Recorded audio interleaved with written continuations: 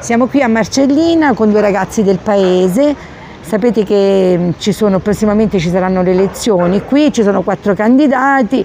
Non so se voi conoscete i nomi di qualche candidato o meno.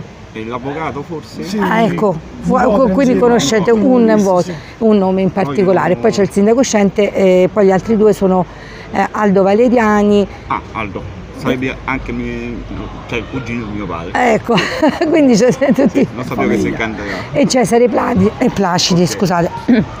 Che cosa vi aspettate? Ecco, che cosa chiedereste a questi candidati? Vabbè, sicuramente di, di sistemare le piazze, di sistemare diciamo un po' più di cose per i giovani.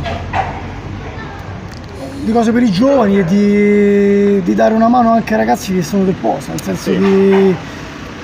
No, adesso non, non so bene. Una mano in che senso? Più lavoro, più... Più lavoro, lavoro, sì. di ingrandire il paese, per i giovani, paese, per- che man- c'è molta delinquenza. Quindi anche più sicurezza, più Più sicurezza. sicurezza. Diciamo, sì. E di dare una spinta ai giovani a non Sì. distruggere niente, ecco. Questo, adesso diciamo, i giovani- Se si fa una cosa poi dopo i giorni è distrutta, quindi giustamente se uno fa una cosa, sistema una piazza, se la vuole tenere bene, no? Quindi non è che dopo due giorni deve stare distrutta, ecco, per esempio qui ci stanno le ringhiere distrutte, altre cose distrutte, ad esempio questo diciamo, anche la spazzatura, che non lascia la spazzatura in giro per strada, tutte queste cose qua.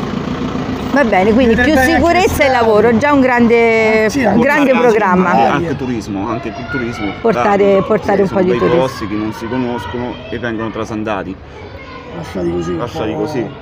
C'è una montagna che se tu vai in montagna c'è solo mondizia, non c'è più il parco.